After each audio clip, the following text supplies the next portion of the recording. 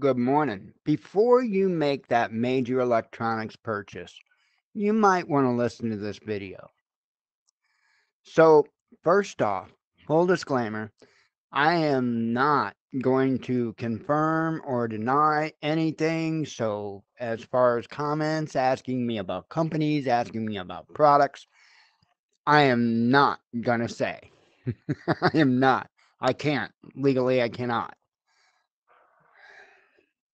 But it's reached a point to where I can't take it anymore.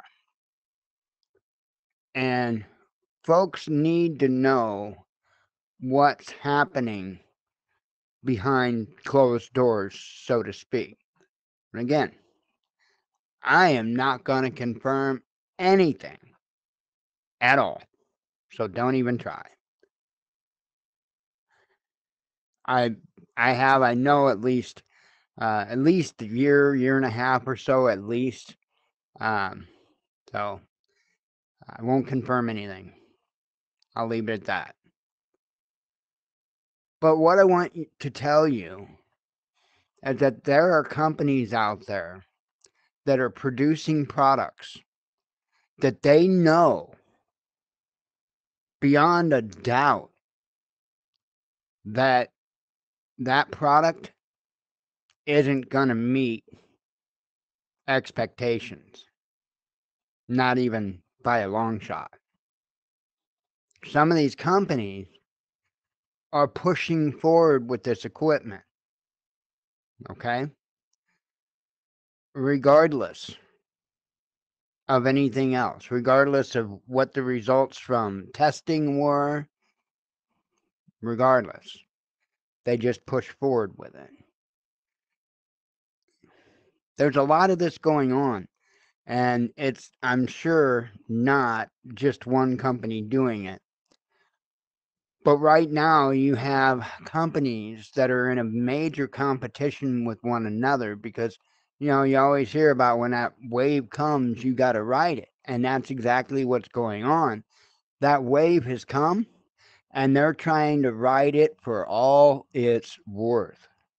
However, the people that take the brunt of all of that are the consumers because you have companies out there that can't even get the important parts of a product working right and here they're throwing on ton after ton after ton of feature this, feature that. Now you can do this, now you can do that. Now we've got an even bigger one, right?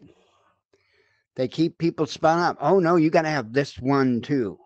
And, and in fact, uh, some of them, if you go to their like their Facebook pages and stuff, you will see the amount of insanity, in my opinion. I mean, it's insanity. People are making a lot of foolish decisions when it comes to these electronic gadgets, if you will. And I've spoken depth about it. I've spoken depth about um, where you should cut off buying the pretty little box, right? Because believe me, there's a major cutoff there. major, major cutoff. I would say this I would not spend over about 1,200 or thirteen hundred dollars on a quote unquote solar generator. Okay. If the unit you're buying or looking to buy cost more than that, go to Renogy's website. This isn't rocket science, folks. Go to the Renogy website and go look at what kind of equipment that you can get for the same amount of money. These solar generators, especially the larger they get, are a massive ripoff. And right now, you've got tons of, of these manufacturers that are fighting tooth and nail to get the edge on the other one, right? Well, these are the features that we have. These are the features that we have. One of them right now just put out its biggest unit yet. And now, after all this years, all these years of producing equipment, Now they're boasting a zero millisecond switching time so that you can supposedly use it as an uninterruptible power supply. Now, mind you, the entire time they have been giving potential customers uh, kind of a notion that it's it's you know going to be something that you could use as an UPS, right? Then when you dig into the nuts and bolts of it, you find out, oh no, you can't. You know, three millisecond switching and zero millisecond switching are not the same thing. And so lo and behold, all these years, now this particular company's got a zero millisecond switching on. Right. How much is that damn device? Right. You can keep it. Folks, greed will destroy anything, anyone. And it's saddening for me because there aren't a lot of companies that I see that I'm like, oh, wow, wow, these folks are awesome. You know, these folks got it right. It's so disheartening to sit there and watch them in the name of greed turn upside down the very things that made them great flip it upside down, turn it around inside out. And now I can't even recommend them to people. It's sad. I'm sure by now you can tell there's a whole lot of stuff that's being unsaid, and I can't help that. There will come a day that I can say it, and I will say it. I've got over a terabyte,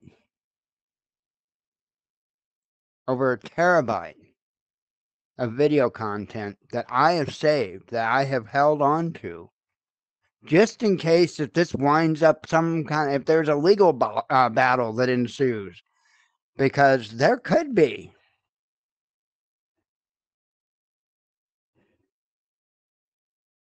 I was disgusted on a level like you could not believe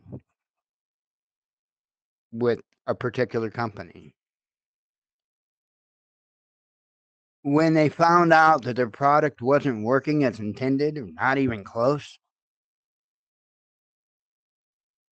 they compartmentalized everyone. In other words, instead of to- talking openly about the issues and what workarounds and this and that. Oh no. Now it went to private messages. So that way nobody knew that others were having so many problems as well. And I caught that the moment that it was done. And that was the moment in my eyes, my life, that I realized this company's not any better than the rest.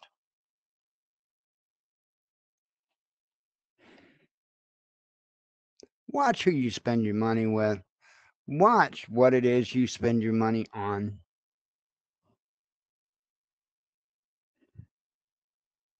I'm out of uh, favorite companies at this point. I don't have one. I don't have a, a, a company that I can look at and say, no, they're doing it right.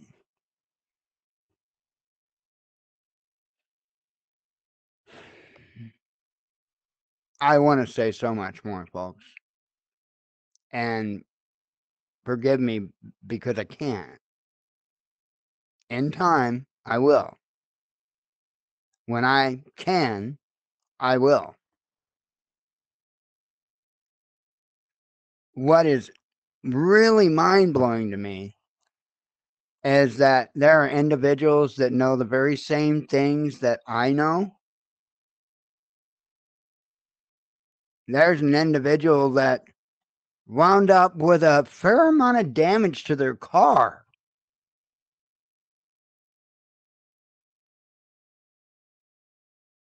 That are out there simping for these companies and, and pushing, convincing people that they need to buy their products.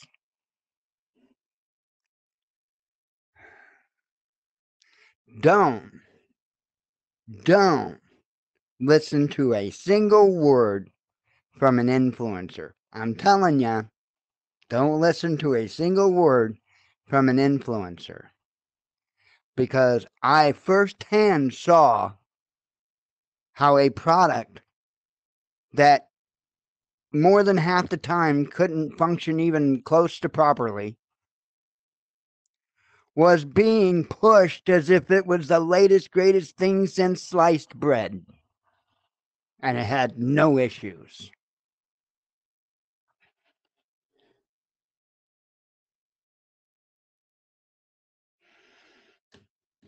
Don't listen to these influencers, folks. Don't.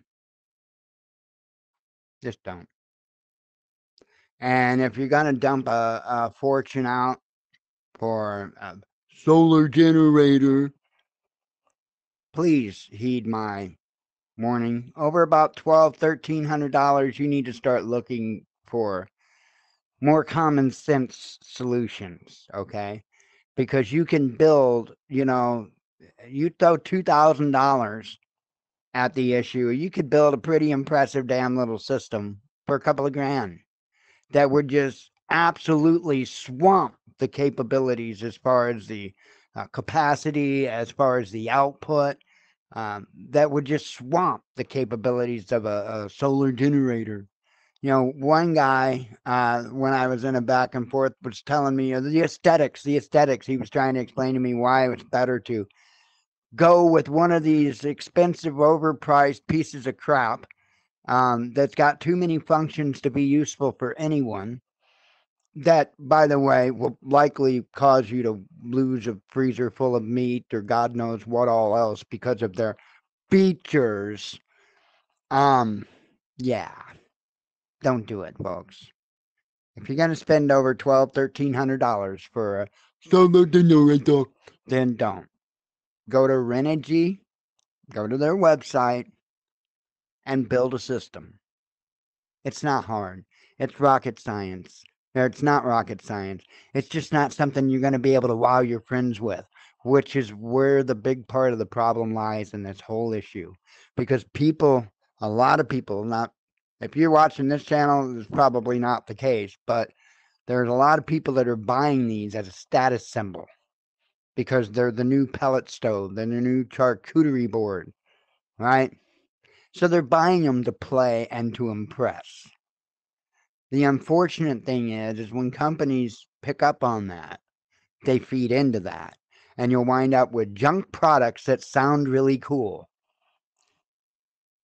What you wind up with? That's pretty much where we stand today pretty much where we stand today. If you're going to spend over 12, 1300, just look at building your own system. You're going to wind up much better off. And if you have an individual component of that system go out, you can replace it instead of the whole damn thing being bad. It is incredible the amount of bogus um, excuses and arguments that you will get by going to these groups' Facebook pages and just trying to talk common sense you will get the most nonsensical diatribe of why you should throw all common sense and practicality out the window to buy one of their overpriced pieces of crap. Unbelievable. Think before making that ma- major purchase this year. Because these companies are trying to in, not really trying to give you a good product. Not not at this point in time. Not at this point in time. Hopefully that'll change, but I guarantee I can guarantee you it will not change until the fad part of it goes away. While there is such a demand and you know such lack of oversight they're going to be pushing, pushing, pushing to try to one up the other companies. Competition is good, folks. but only to a certain level. When that competition starts providing the opposite of what it should be providing, that's when it's time to call off the game. You know what I mean? Or at least don't take part in it. And that's my advice to you. Don't take part in their game. Be smarter than that. Be more practical than that. And be more satisfied than that. So just heed my warning. My apologies for the vagueness. Many of you will will put it together. I'm not confirming anything. Just know. Just know that I got to see some pretty low crap. That's all I can say. With that, be careful. It's Thanksgiving. I'll tell you happy Thanksgiving, even though I'm not a holiday person. Um, I'm I really, I'll just I'll leave that I'll leave that subject alone. Some people don't have so many reasons to be thankful for, so I'll just leave that at that. Anyway, I'm out of here. Just before you click that add to cart button, think about it. Shalom.